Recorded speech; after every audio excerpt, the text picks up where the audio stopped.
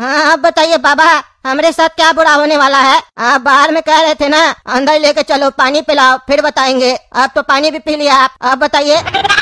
देखो बच्चा, तुम जानबूझ के तो अपराध नहीं किए हो, लेकिन अपने मूर्खता में तुम बहुत बड़ा अपराध कर दिए हो। और जब किसी चीज़ की स्पष्ट जानकारी ना हो तो किसी भी दूसरे पर उसके लिए दबाव बनाना अच्छा बात नहीं होता बच्चा। और तुम यही किए, जिसकी वजह से तुम्हारे एक रिश्तेदार का साढ़े ग्यारह लाख रुपए का नुकसान हो गया। हम सही कह रहे हैं ना बच्चा? अरे हाँ हाँ बाबा आज तो बिल्कुल सही कह रहे हैं। अभी दो तीन दिन पहले ही नुकसान हुआ हमारा एक रिश्तेदार को, लेकिन आपको ये सब कैसे पता चला? लेकिन हम सच बता रहे बाबा, इसमें मेरा पूरा गलती नहीं है, मेरा एक भाई है, वो ही सब किया है, जिसकी वजह से मेरा भी नाक कट गया। अरे बच्चा, हमको सब पता है, ये मत सोचो कि हमसे कुछ छुपा है, हम सब जानते हैं। तुम्हारा चेहरा देख के सब पढ़ लिए, बच्चा, ये तुम्हारा एक भाई है, जिसका नाम चालू है, वही किया ना ये सब? अरे हाँ हाँ बाबा उसका नाम चालू है। हाँ तो समझो बच्चा, उसका प्लान कब कामयाब हुआ? जब तुमने बेवकूफ़ी भरा निर्णय लिया, तभी ना उसकी चालाकी काम की। और तुम्हारा वो रिश्तेदार और कोई नहीं, बल्कि तुम्हारा भांजा है। ये भी पता है हमको बच्चा, और हमको ये भी पता है कि तुम दो नहीं, तीन भाई हो और तुम तीनों भाई को बहुत बड़ा नुकसान होने वाला बच्चा। और सबसे बड़ा नुकसान तो उस चालू भाई को ही होगा। हम साफ़ देख पा रहे हैं तुम लोग का नियति, बच्चा। साफ़ दिख रहा है। मेरे आँख के सामने है बच्चा। अरे बाबा हमको समझ में नहीं आ रहा है कि आपको ये सब बात कैसे पता चला। लेकिन आप तो हमको बहुत डरा रहे हैं बाबा। जल्दी बताइए क्या होने वाला हम लोग के साथ? क्या होने वाला है बच्चा? ये जानने से ज़्यादा ज़रूरी है तुम्हारे लिए कि उस चीज़ से तुम बचोगे कैसे? क्यों? सही कह रहे हैं कि गलत? अरे हाँ हाँ बाबा आप तो सही कह रहे हैं। बताइए ना कैसे बचेंगे? बच्चा, तुमको कुछ नहीं करना है। जो हम कहेंगे, बस उसको फॉलो करते जाओ। अरे हाँ बाबा बताइए, क्या करना हमको? बताइए आप हमको उपाय बताइए। हम फॉलो करेंगे। ये लो बच्चा, साढ़े पाँच लाख रुपया। अरे बाबा, ये तो असली पैसा है। आप हमको साढ़े पाँच लाख रुपया दे रहे हैं। उपाय भी आप बताइएगा, पैसा भी आप दीजिएगा। आप तो कह रहे थे हमारे साथ बुरा होने वाला है, लेकिन हमारे साथ तो अच्छा हो रहा है। हमको साढ़े पाँच लाख रुपया दे रहे हैं आप। इतना बड़ा मेहरबानी बाबा। अरे बच्चा, ज़्यादा मत सोचो बच्चा। तुमको फ़ायदा होगा कि नुकसान होगा, इसका तो भविष्य में तुमको पता चलेगा। मेरा बात को फॉलो नहीं करोगे तो नुकसान ही होगा। चुपचाप से जो हम कहते हैं वो करो। ये साढ़े पाँच लाख रुपया अपना तिजोरी में जाके रख दो बच्चा। अरे बाबा कहीं में आप हमको दे रहे पैसा? धन्यवाद। अरे बच्चा पहले सुनो। ये सारे पाँच लाख रुपया को अपने तिजोरी में रखना। लेकिन तिजोरी में रखने से पहले पैसा को वहाँ पे चूमना समझे? चूम के रखना। अरे बाबा उससे क्या होगा? अरे उससे जो तुमको आर्थिक आपदा आने वाली है ना वो कभी नहीं आएगी। लक्ष्मी तुम्हारे घर पे चल के आएगी खुद। और ये मत सोचो कि ये पैसा हम तुमको दे रहे हैं। ये पैसा तो सिर्फ़ तुमको दस मिनट के लिए वहाँ रखना है। फिर हम तुमसे कहेंगे कि पैसा वापस ले आओ। फिर तुमको वापस लाके हमको देना भी पड़ेगा बच्चा। ये तो विधि है। अच्छा बाबा हम सब समझ गए। आप अपना सिद्धि किया हुआ पैसा को हमारा पैसा के साथ मिलवा रहे हैं ताकि हमारा उस पैसा में जो भी पाप है वो कट जाए। हम समझ रहे बाबा हम जाते अभी रख के आते हैं। और हाँ बच्चा चूमना नहीं भूलना। अरे हाँ बाबा आप तो एक बार बोले है ना हम दो बार चूमेंगे। ठीक है बच्चा जैसी तुम्हारी इच्छा। काला कदू चूम लिया पैसा। चलो पैसा उठाओ। बुढ़ा बेहोश हो गया। सही कहता बड़ा लोग, पैसा से पैसा बनता है। अरे मंगलू, इनका पूरा पैसा नहीं उठाना हम लोग को। सिर्फ़ पचास हज़ार रूपया लेंगे, और बाकी अपना पैसा। कहे कि इनका नियत खराब नहीं था। ये तो हम लोग अपने घर में खाना खिलाए, सेवा किए, ज़मीन दिखाने के लिए अपना समय दिए। इनका नियत बहुत अच्छा है। बस इनका दिक्कत यही है की ये बहुत ज़्यादा होशियार समझते अपने आप को, और उसी होशियारी में बेवकूफ़ी कर देते हैं। इनको वही सजा दे रहे हैं हम, ताकि इनको समझ में आए कि कभी भी किसी के ऊपर भी आँख बंद करके विश्वास नहीं करना चाहिए। ऐसा करने से नुकसान होता है। देखा, हम लोग का नुकसान कराने के बाद भी, उसके बाद भी ये नहीं सुधरे। अब अपना नुकसान होगा ना, तब सुधर जाएँगे। अब ये मिशन पूरा हुआ। अब मेन आदमी को ठिकाने लगाना है। उसका तो पूरा पैसा चोरी करेंगे। तुम जाओ गोरा कद्दू के साथ। उसके पास भी जाओ। समझ गए ना? चालू के पास। वो कहता रहता है ना, हमारे पास पैसा नहीं है, लेकिन हमको पता है, ऐसा आदमी लोग के पास अलमारी भर के दो नंबर का पैसा पड़ा होता है, और सारा पैसा ऐसा लोग घर में ही रखता है। जाके उसके यहाँ भी पूरा डकैती करेंगे। और तुम चिंता मत करो। काम होने के बाद आधा पैसा तुम ले लेना। ठीक है ठीक है, लेकिन वहाँ मेरा छोटा भाई जाएगा। हम नहीं जाएँगे। कहे कि वो बात बात पे गोली मारने का धमकी देता है ना?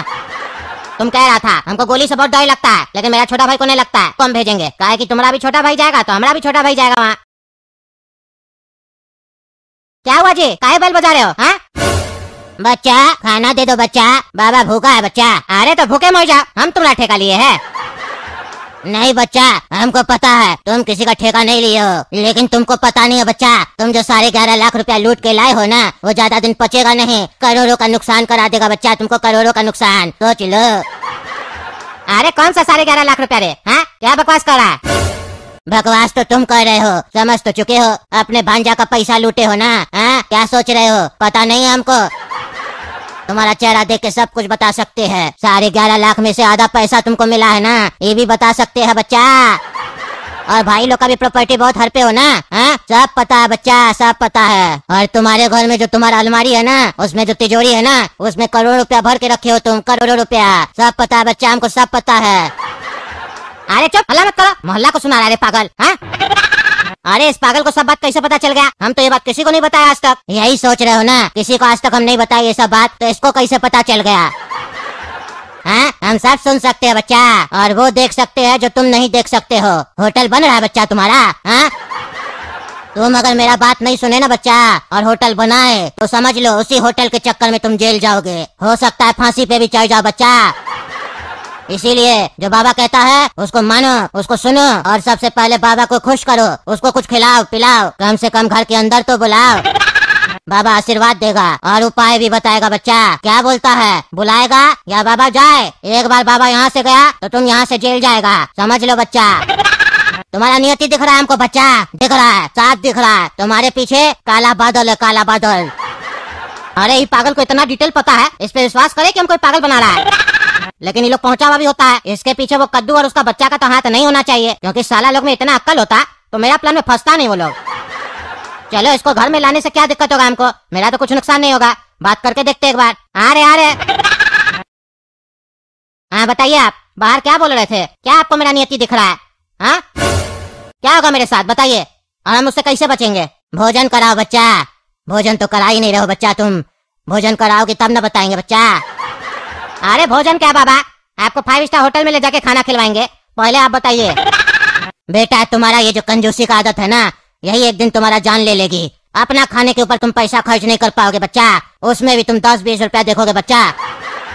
खाना नसीब नहीं होगा बच्चा, तुमको खाना नसीब नहीं होगा। अरे बाबा, आप हमको यहाँ पे बदुआ देने आए हैं कि उपाय बताने आए चलो, पहले उपाय बता देते हैं तुमको बच्चा। लेकिन पहले तुम्हारा गलती तो बताए। अपने भांजा को लूटे हो ना बच्चा तुम। अगर तुम इस चीज़ को स्वीकार करो बच्चा, कि तुमसे गलती हुई है तो तुम्हारा आधा पाप तो यहीं धुल जाएगा बच्चा। अरे हम क्या स्वीकार करें? हमसे कोई गलती नहीं हुआ है। गलती तो हुआ है बच्चा तुमसे, वो भी बहुत बड़ा गलती हुआ है। और ये गलती नहीं अपराध है बच्चा अपराध, तभी तो बाबा तुम्हारे दर पे आया है। तुमको सही रास्ता दिखाने बच्चा, फटाफट स्वीकार करो बच्चा, कि तुमसे गलती हुई है। हाँ हम स्वीकार करते हैं, हुई हमसे गलती, और हम जानबूझ के गलती की है ये। तो चलो अब ये बोलो कि हम गधा का बच्चा हमसे बड़ा कोई गधा नहीं है। हम गधा है, इसीलिए ये सब किए हैं। कहो ये सब। अरे, ये सब क्या बकवास करे बाबा? हम ये सब क्या बोलेंगे अपने बारे में? हम गधा नहीं, हम होशियार है, इसीलिए मेरा नाम चालू है। अरे बच्चा, वो तो तुमको लगता है कि तुम चालू हो, लेकिन तुम्हारी नियति को नहीं। अकेले पड़ गए हो तुम अकेले। रोटी देने वाला तुमको कोई नहीं है बच्चा। पत्नी तुम्हारी मायके गई है। बच्चा तुम्हारा स्कूल में पढ़ता है। खाना खाने के लिए तुमको रात का सब्ज़ी मिलता है बच्चा। एक टाइम खाना बना के दो टाइम खाते हो, बच्चा। और इसी खुन्नस में तुम सबसे बदला ले रहे हो, बच्चा। और सोच रहे हो, होटल बना के तरक्की कर लेंगे। कभी सुख नहीं पाओगे, बच्चा, कभी सुख नहीं पाओगे। जैसा जैसा बाबा कहता है, वैसा वैसा करते जाओ। सुख मिलेगा ज़िंदगी में, सुख। ज़िंदगी का असली मतलब समझ में आएगा, बच्चा। चलो, बोलो। जैसा जैसा बाबा ने कहा दोहरा उसको। हाँ बाबा, हम गधा का बच्चा। हमसे बहुत बड़ा गलती हुआ है। हम गधा इसीलिए सब गलती किए। आइंदा से ऐसा हम और गलती करेंगे, क्योंकि हम गधा है। ये नहीं बोलना है, बच्चा। तुम्हें ये बोलना है कि आइंदा से हम ऐसा गलती नहीं करेंगे। हम गधा से घोड़ा बनने का कोशिश करेंगे। आइंदा से हम ऐसा गलती नहीं करेंगे, हम गधा से घोड़ा बनने का कोशिश करेंगे। ठीक है बाबा, अब आधा पाप तो धुल गया। अब आधा कैसे धुलेगा, ये बताइए। अरे बच्चा, तुम तो बड़ा तेज़ी से पाप धो रहा है।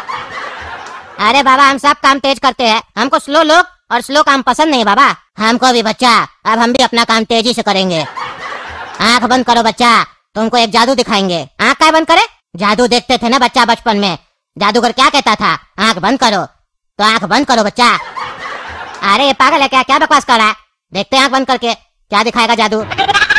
आँख खोलो, बच्चा। और ये देखो, साढ़े पाँच लाख रुपया।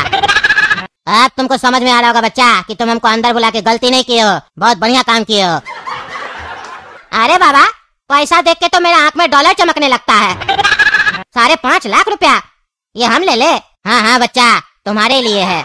आगे और भी पैसा मिलेगा। लेकिन कभी भी किसी बाबा को निराश मत करना, बच्चा। उल्टा सीधा मत बात करना। जाओ, इस पैसा को अपने तिजोरी में रख दो और दो बार इसको चूम लेना, बच्चा। चूमने से ये पैसा डबल हो जाएगा। तुम्हारा होटल जल्दी बन जाएगा, बच्चा। अरे बाबा, तब तो हम रोज सुबह में चूमेंगे। तो मेरा रोज सुबह में पैसा डबल हो जाएगा। बच्चा, उतना जल्दी भी डबल नहीं होगा। महीना, दो महीना लगेगा। तुमको समझ में नहीं आएगा। जैसा मैंने कहा, पैसा को चूम के रखोगे तो होटल जल्दी बन जाएगा। और अपने तिजोरी में ही पैसा रखना। जहाँ पे सबसे ज़्यादा पैसा रखते हो, समझे बच्चा? क्योंकि तिजोरी में जितना पैसा होगा, उतना ही तुमको डबल पैसा मिलेगा। अरे हाँ बाबा, अभी रखते हम। और आपको आज हम चॉकलेट आइसक्रीम खिलाएँगे। बैठिए ठीक है बच्चा, ठीक है। ऐसे भी गर्मी बहुत है। आइसक्रीम हम खा लेंगे। जाओ जाओ, रख के आओ। अरे क्या बुर्बक बनाया रे इनके यहाँ तो बहुत पैसा है। पैसा नहीं है, पैसा नहीं यही कहते थे। सारा पैसा तो यही दबा के रखे है। सब पैसा उठा लो। आप पापा को दिखाएँगे कि उनका बच्चा शेर है, शेर। पापा, आज जितना पैसा लाकर हम लोग दिए आपको इतना आप ज़िंदगी भर में कमा पाते। चालू मामा के यहाँ तो इतना पैसा था, घोड़ा कद्दू तो देखकर सोच में पड़ गया कि कुछ गड्डी चुरा ले, पापा को भी नहीं दे। लेकिन हम मना किए कि नहीं, बेईमानी करने वाले को देखो कैसे सजा मिल रहा है। तुम भी करेगा तो तुमको भी कोई सजा देगा। इसीलिए पूरा पैसा पापा को दो। काहे कि अगर कुछ होगा तो पापा को होगा, हम लोग को नहीं। आज आपको गर्व हो रहा होगा अपना बच्चा लोग पर। अरे हाँ हाँ बहुत गर्व हो रहा है। और ये जो अपना मज़ाक करने का आदत है ना, थोड़ा कम किया करो। आज हमको बहुत खुशी हुआ। हमारा पैसा डबल हो गया। साढ़े ग्यारह लाख रुपया लगाए थे। हमको तुम लोग तेईस लाख रुपया ला के दिए हो। मज़ा आ गया।